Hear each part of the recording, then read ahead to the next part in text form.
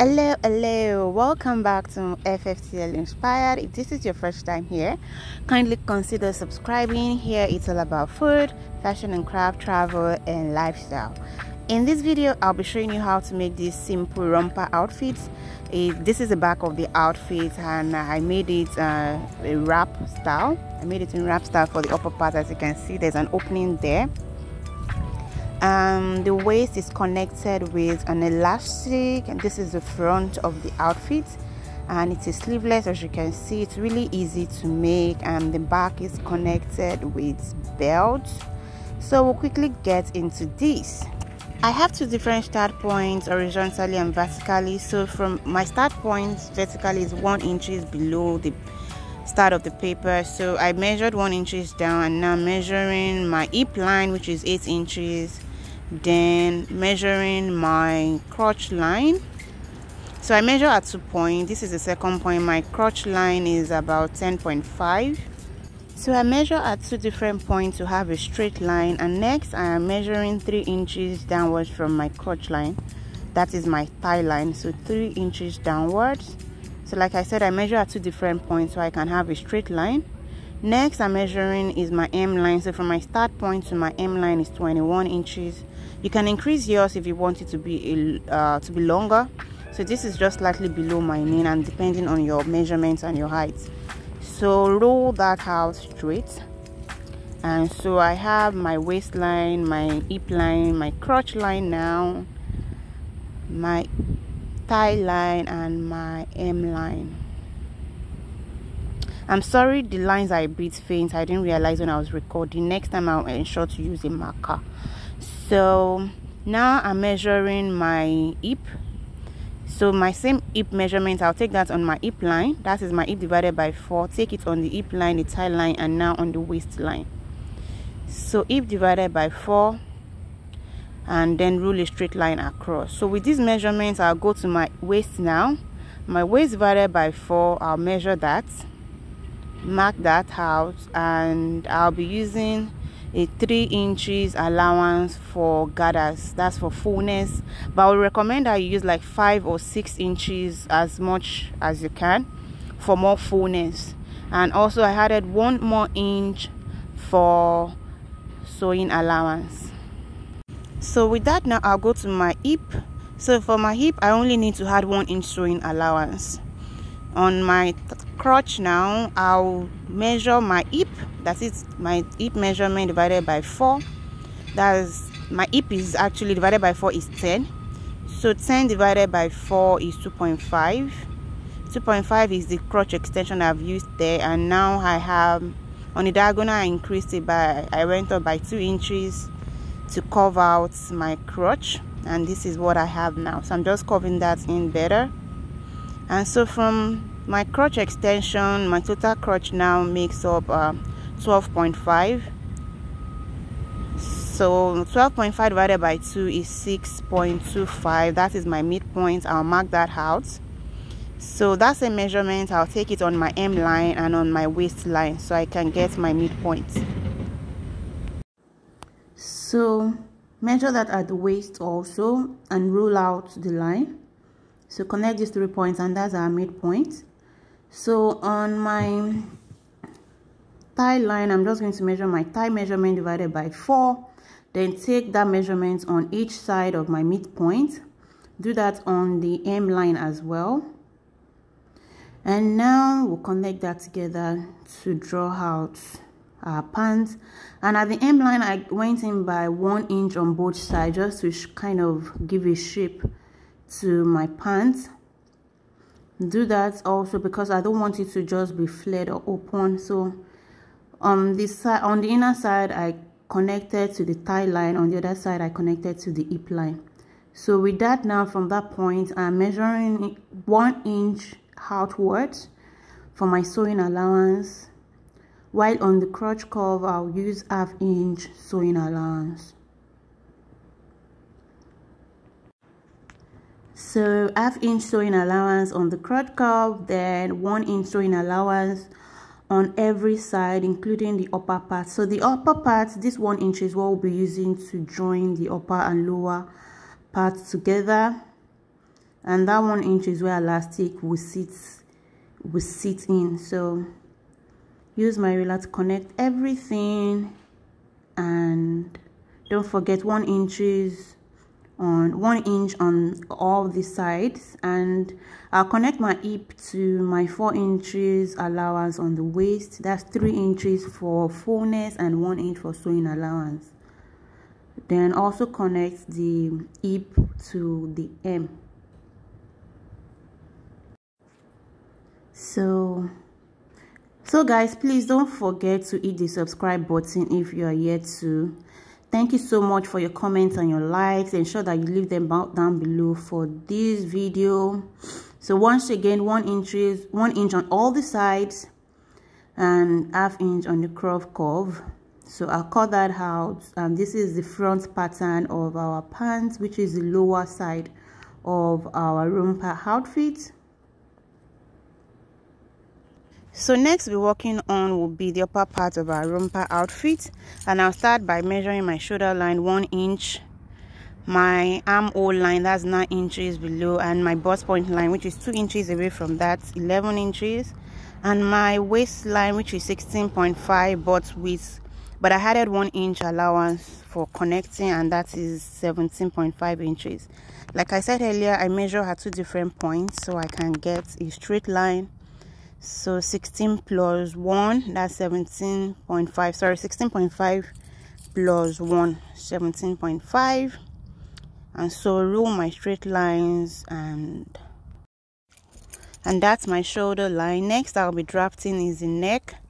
So go in 3.5 inches below and horizontally mark 4 inches. So um, roll that out connect them and on the diagonal line go in by two inches. And from that folded part to the neck I'll just do a curve to create my neck pattern. So this is the neck of the outfit. My shoulder that is back to back is 15 divided by 2 that's 7.5 inches. So mark that on the armhole line i'll take my bust divided by 4 mark that and include 1 inch sewing allowance. The next i need is my waist divided by 4 add 3 inches for gathers of fullness and 1 inch plus for sewing allowance. Like i said please or kindly feel free to add like 4 to like 5 to 6 inches more for more fullness. That's if you want. So connect the waist to the armhole and now on the armhole line i also measure 7.5 inches to connect to the shoulder line. So roll that out straight and then connect the neck to the shoulder line and that is my shoulder slant. So from the shoulder line to the armhole line now i have 8 inches left. So 8 divided by 2 is 4 on that 4 inches point i'll go in by 1 inch so this is what will this is i'll create a curve through this to draft my armhole so just pass a curved line through this to the edge of the shoulder. And this is my armhole and that is my armhole line. So my bust divided by 4 plus 1 waist divided by 4 plus 3 and plus 1 so cutting that out this is the pattern i have now and I want to do a little design for the back. So two inches downwards first and from that two inches downwards I will mark about six inches 6.5 inches rather. So you see that opening at the back? This is what I'm trying to create now. So just draw a small curved pattern like the way I'm doing here. This creates an opening even with the wrap pattern of the back. So I removed the neck piece just to cut out the upper parts now. And I'm also cutting out the pants side of the front.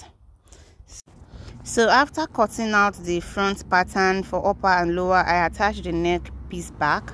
As you can see here so for the back now we need to remove this pattern and you can see the kind of opening we have now. So i extend that opening to the other side diagonally to create a continuous curved shape. And now i'm going to draft the neck of the back. So i'll go in by 1.5 inch. And from that 1.5 inch i'll create a curved shape to connect with the neck of the outfit so curve that out and cut it out. This is the back of our outfit where the uh, belt will be attached. So i'm going to cut out um, that curved pattern and this is the pattern for our back. So we need two pieces of this. So i'll cut out one pattern first but for the back armhole we need to close out the the um, measurement we took from the front. So I'll just draw a straight line to close that up as you can see here that's for the back armhole the back armhole and front armhole are not usually cut the same way. So i cut out this pattern. And you can see that I didn't cut this on fold so you need to lay out your fabric. Don't fold it. And for the pants part of the back we're going to extend our crotch by 1.5 inch right there.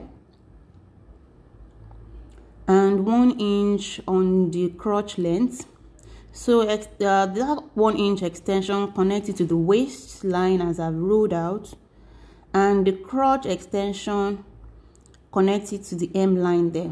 So those are the two adjustments we make for the back. I also cut that out. And this is our back measurements so I flipped the front pattern sorry the back pattern on the upper side. I flipped it to cut the other side. And when I turn them back now you can see that we have two pieces of the back pattern. So when we lay them on each other there is this overlapping that we have and our belt stays at the neck. So next i'm cutting is the facing. So i cut uh, facing for all for the front and the back. So just lay out on a folded fabric take that out and i'll measure two inches round the shape to create my facing. So just follow the shape and measure out two inches. Cut that out and we have the facing for the front. That's for the neck. If you have any questions please leave them down below. We do the same for the back. And now we split this into two. So we can have two pieces for the back.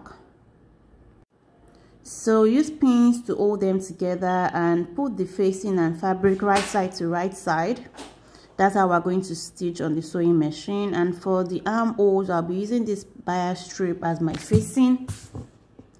So also we will sew the crotch line crotch cuff this way first.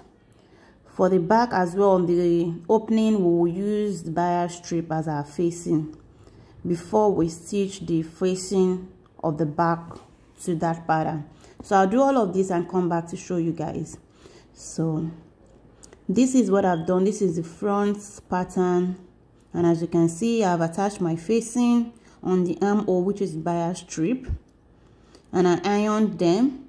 For the neck, I've also attached my facing and I did a top stitch on the neck pattern after which I pressed down with an iron. So for the back armhole, I have done the same thing. I used bias strip and I attached my facing. Then I created this belt that I have also added and my facing for the opening. So the belt is sitting in between my facing and that opening before I stitch together. So the belt is something very easy to make. And now we need to determine the center of our back pattern. You know we have two pieces now. So the way to determine this is to place the patterns on the front and ensure that the sides are uh, rightly placed so with that that's our midpoint. So pin that together and then we can have our back piece in one form. So with a back piece in one form I can go ahead to stitch all the way down like that to hold it together by one inch. And here on the side the one inch in our allowance this is the time we take them in so one inch is one inch allowance on both sides and for the lower part I've also sewn across the crotch like that. So I've done that for the front and the back. I'll place here I'm placing them on each other to join them together as well. So sew one inch on both sides and on the crotch parts we ensure that the crotch lined for the front and the back and then we'll sew from one hem side to the other now that I have attached the upper part front and back together I've also done the same for the lower part. So now what we need to do is to sew the upper and the lower side together. So sew the top and the pants together.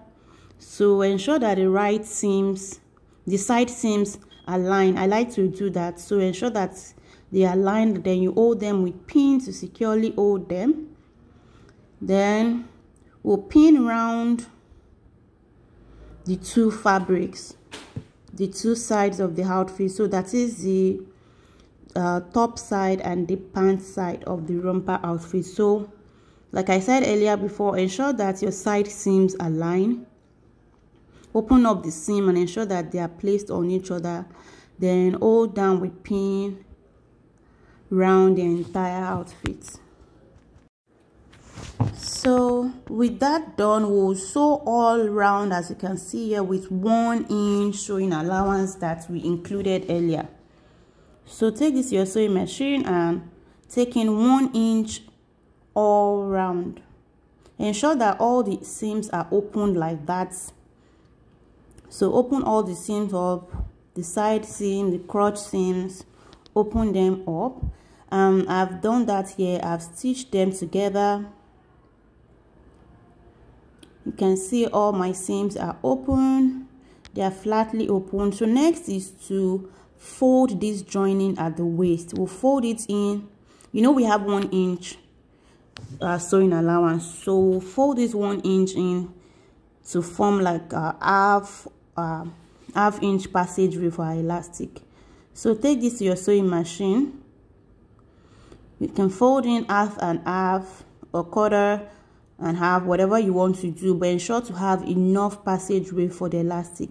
The elastic i'm using is a three quarter elastic. It's actually a one quarter elastic yeah. So i need uh, like half inch passageway for ease. So that's what i'm trying to do here. I'll sew this all round. Also as you're sewing this ensure that you open up your side seams if not your elastic might be blocked and not be able to pass through. So open up the side seam and take your time as you stitch through. Fold as you go. And ensure to leave about one inch opening so you can pass in your elastic. Don't forget to open your side seams as you go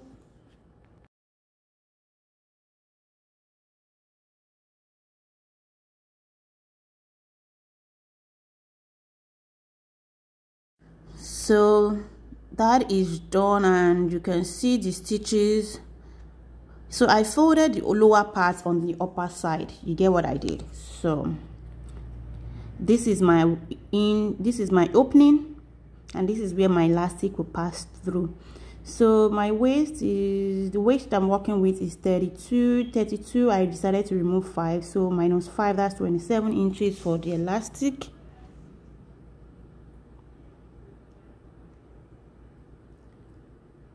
so pass that in with a pin.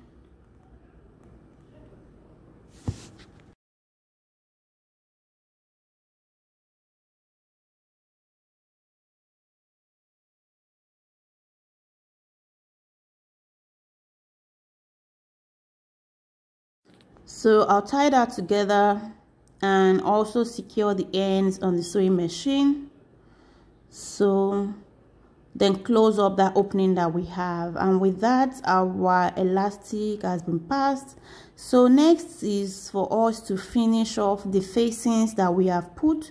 So on the armhole and the necklines i will use needle and thread to make some blind stitches around uh, around them. And for the hem line i'll be using this m glue.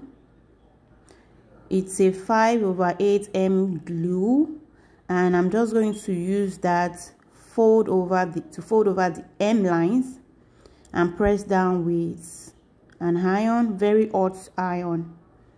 So I like to do this for my outfit because of the neat neatness and ease that it gives you know. Sometimes I don't like seeing stitches on the uh, outside of my outfits. I like how this is concealed and it gives a finished a beautiful finishing.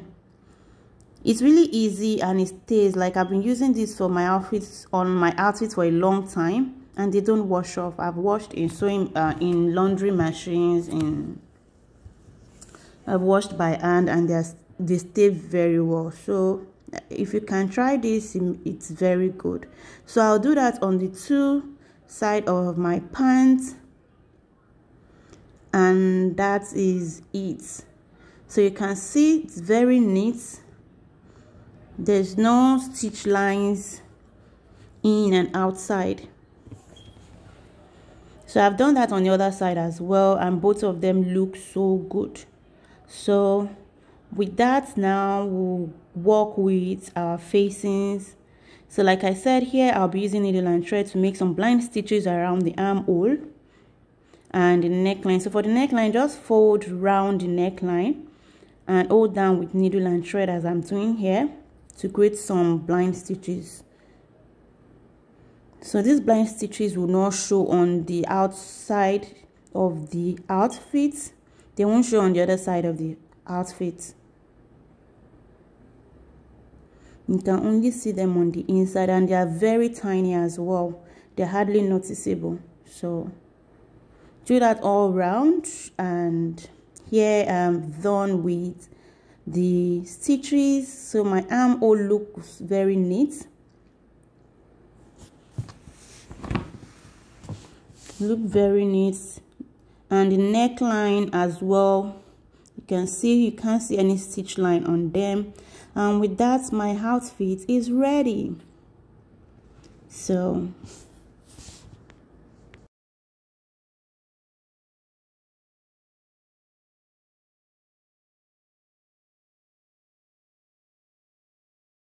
So I have my belt to hold the two sides of the back together. You can tie it as a bow and tie it anyhow as I like. It's a very beautiful outfit and you can see that it's really easy to make. I hope that you have enjoyed this tutorial and that you will try out this outfit. Please don't forget to leave your comments below and questions. I respond to all of them. So thank you so much for watching. Till I come your way again. Bye.